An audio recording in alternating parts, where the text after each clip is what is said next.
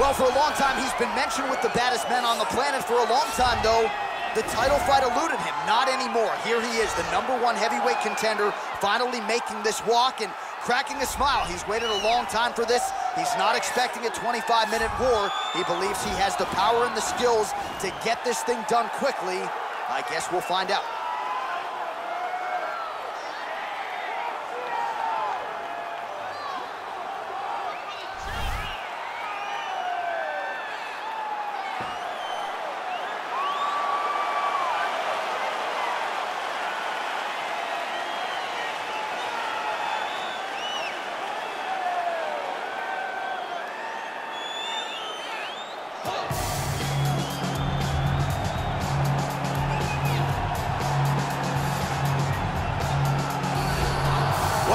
People think it's the most significant title in combat sports. No argument from me. Baddest man on the planet, UFC heavyweight champion.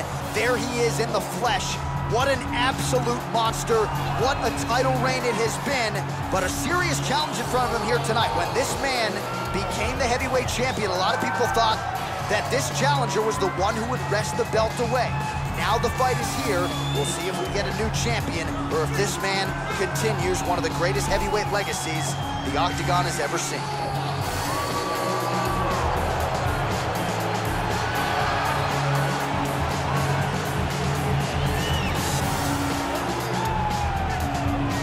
Our tale of the tape for this heavyweight championship fight. More than a decade separates these two fighters when it comes to the age. Some differences in height and reach. All right, we send it back inside the octagon. Here is Bruce Buffer. Ladies and gentlemen, this is the main event of the evening. When the action begins, our referee in charge of the octagon, Yves Lavigne. And now, this is the moment UFC fans around the world have been waiting for. Live from the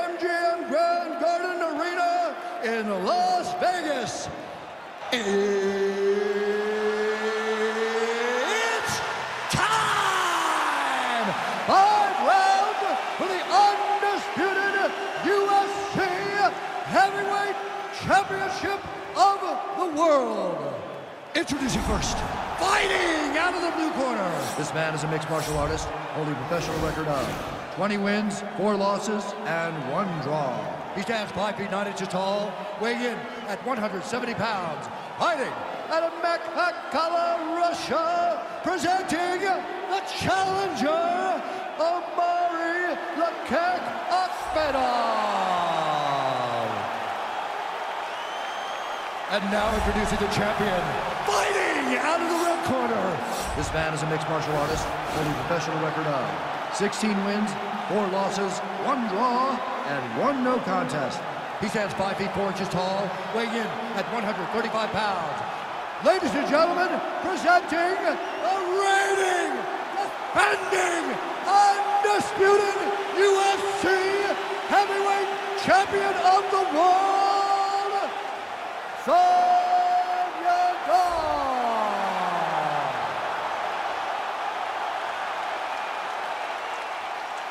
UFC belt on the line, guys. Protect yourself at all time. Obey my command at all time. If you want to touch love, do it now. Go back to your corner.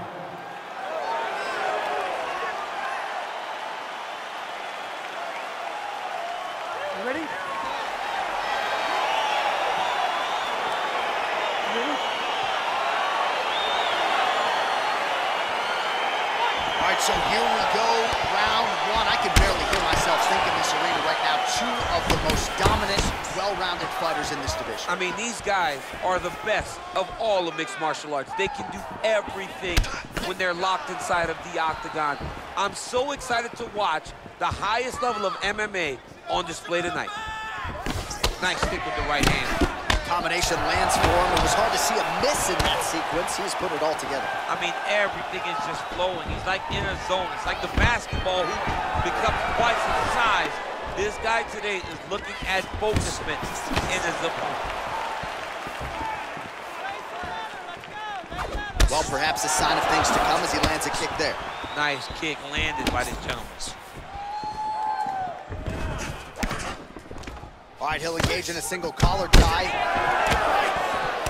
All right, first round is underway here. We say in mixed martial arts, it's one thing to have the reach advantage. It's another thing to use it. We'll see if he can get that jab going tonight. He has got to fight tall. He's got to stay at range, use his length to give his opponent problems, trying to bring the fight into a closer distance. Wow, that right punch has been the money weapon for him tonight, and he landed it again there. If his opponent does not change something, he will continue to throw the strike until he makes him stop throwing.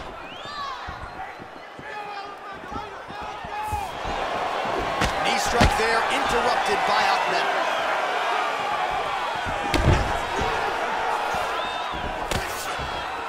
Oh, there he goes, attacking that lead leg to the outside. Nasty kick there. Nasty leg kick. You gotta slow down your opponent.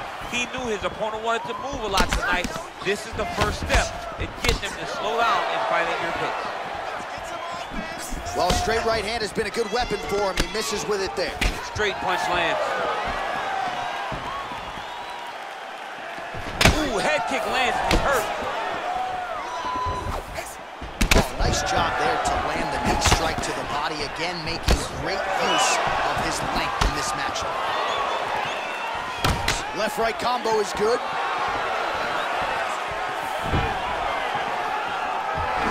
Right, he engages in the single collar tie. Right hand punch from the clinch. Whiffs on the straight right hand. Well, there's a takedown attempt. No surprise that he would go for it there, but unable to get the fight to the ground. Whenever your opponent knows that you're going to try to take him down, you have to disguise it. He did not disguise it. He tried to shoot a blind shot. It got defended as you would expect it to. And he connects with a punch there. We'll see if he can follow it up. He's landed that punch over and over again. What's he going to do to follow up?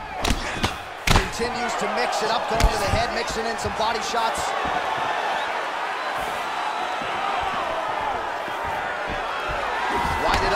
Right there to no avail.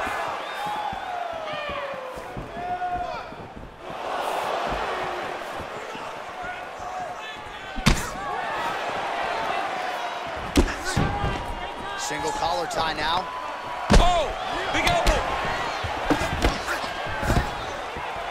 Stuffs the takedown, no problem.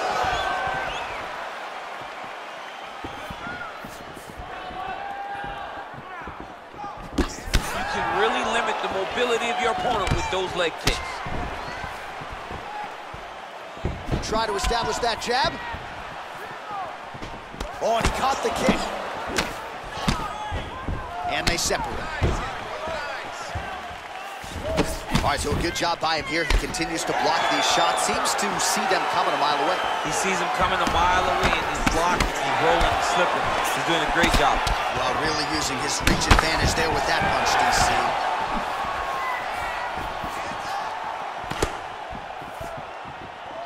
Akhmedov gets touched by that kick right to the body there. Nicely done by the opponent. Oh, big punch lands. Just a slip there. He's back to the clinch position. This is where he has done a ton of good work here. Punch, punch, punch to the head from the clinch. Much improved defensively as he blocks the shot. Nice stick with the right hand. All right, 20 seconds to go in the round.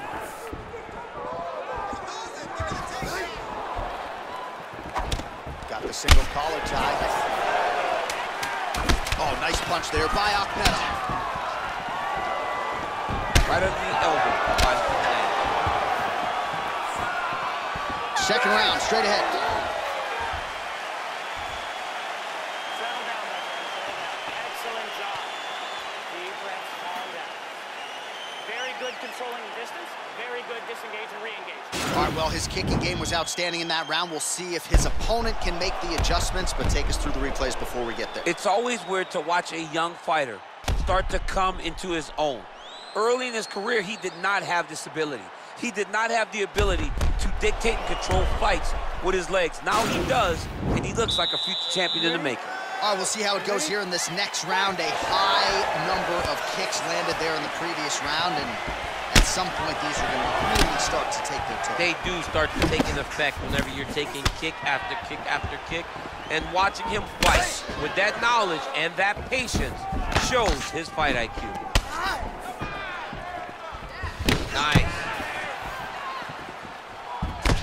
It's almost like he's got a rangefinder out there. Just too easy as he connects with another good series of punches. If you're boxing this guy and only boxing him, you will be in trouble.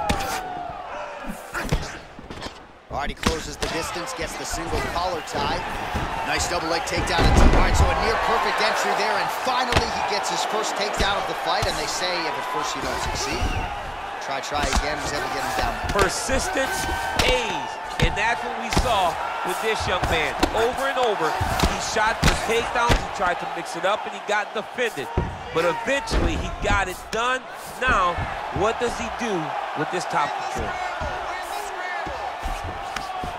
Oh, now trying to isolate an arm, DC. He needs to move his hips back to cover. He cannot allow him on that angle. He's gonna attack armbar here.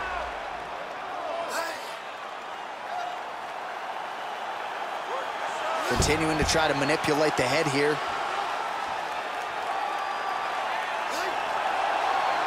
And this might just be a matter of time.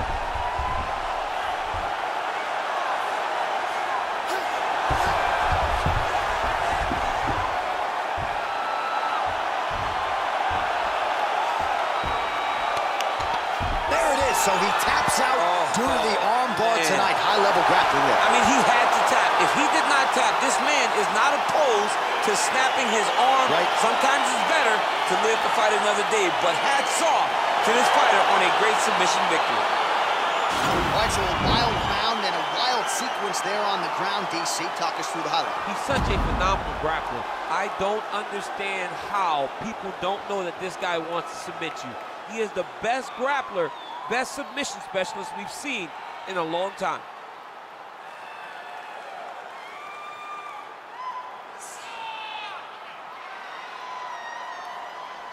So what a moment for the undisputed UFC heavyweight champion of the world getting it done tonight and with style points as he submits his opponent to win the UFC title.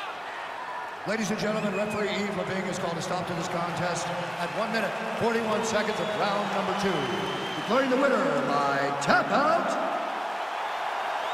And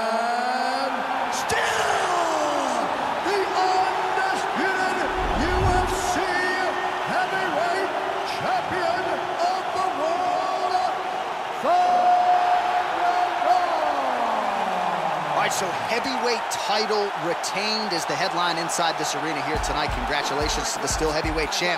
Uh, once again, proving he's the elite among the elite. In a division where everything can change in a second, this guy has brought consistency